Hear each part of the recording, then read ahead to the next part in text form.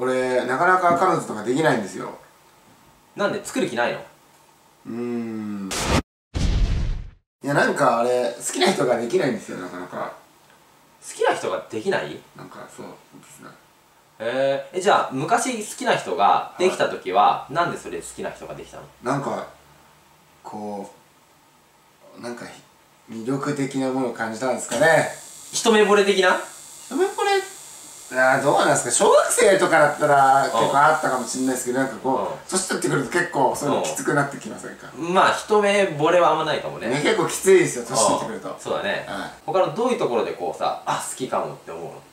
素直なところですかね。そんなところ。なんかこうあのあれですよ。ひょこひょこついてくるよ。あ亭主関白的なの？こういういやちょっと違うんですけどなんかわかりますかなんかなんか分かってくださいですねあこうちょっと素直に十字にこうなんかついてくるみたいな。3十つ4つ下下？なんでちょっと待ってなんだお前この野郎。まああとあの最近夏に学校卒業したんですよ。おう。でまあようやくね。はいそうなんですよ。でそのでなかなか出会いとかがないんですよ俺。出会いか。出会いがないんですよまず。そこが問題じゃないですかトミック君今じゃあ出会えるとしたら、はどういうこう女の子っていうかどういう場所で出会えるの？出会えるとしたら今。ええー、学校。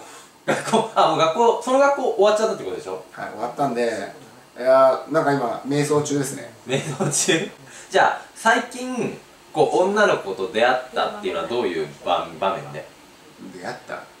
あバイト先とかですかね。あバイトいいんじゃないの？バイトなんかもうやれやれませんよこの時期で本当に？はい国家試験ありますもん。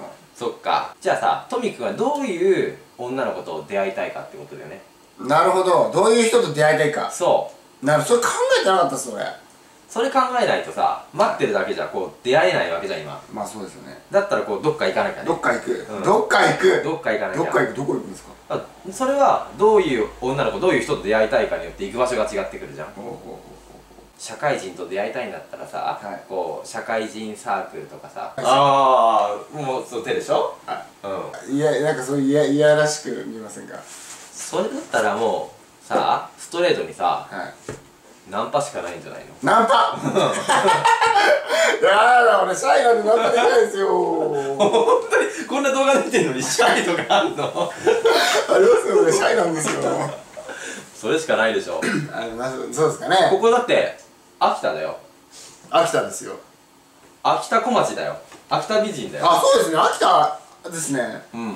ちょっと秋田を探索してみますかね。そうでしょはい。いいんじゃないの？純粋純粋とひょこひょこついてきそうじゃん。綺麗。秋田しかないんだよ。そうですね。そうでしょ秋田行っちゃいましょう。秋田行っちゃいましょうよ。二その例えば二股男とか昨日の話題だった。な二股男はいいです。なんかとりあえずじゃあわかわかりました恋人と出会いがあるかないかの。ああいいよいいよ